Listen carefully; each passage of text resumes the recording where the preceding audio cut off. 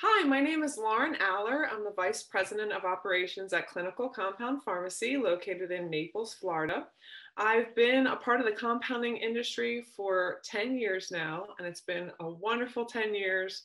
A lot of just ups and downs and just wonderful uh, experience. And I've just grown to have such a love and passion for compounding.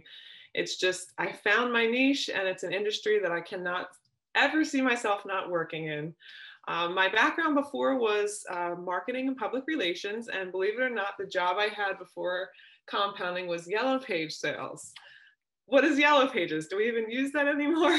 into this industry and just you know fell in love with connecting with physicians and patients and pharmacists and all the experts in this industry and it's just become a huge part of my life um, I'm a new mom. I have a two year old and now a three week old. So I'm learning the ropes of parenthood. And I love that my job involves a lot of flexibility where I can also, you know, give a lot to my family and still also give a lot to my job. I'm very excited for this conference. I'm going to be speaking um, in the marketing uh, component of the conference.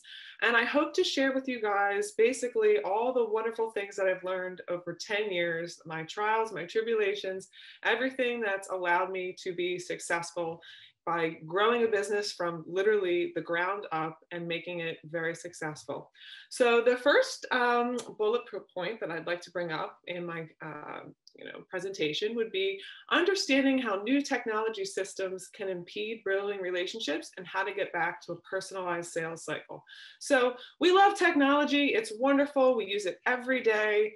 It's a huge part of our life, but really what I want to show you guys is how it's so important to have a foundation. Going back to basics you know just learning how to ride a bike again because that's just really what's going to help you establish business and keep it going. The second is basically the benefits of relationships. Um, as you know that is what's going to drive and continue to drop you know get your business and allow it to be successful. So, how are we connecting with our physicians, our prescribers, our patients? How are we growing these relationships? How are we maintaining these relationships and building them to be, you mm-hmm. know, allowing us to have more success in our business? The last part that I'd like to bring up is going back to basics. As I said, the foundational aspects of marketing is really what's going to bring you success. So, what are tools that you can use? Obviously, we know we have website and social media presence, but what about some other things like faxing, mailing, putting together welcome kits, tangible items that we can use to go in and, you know, establish business.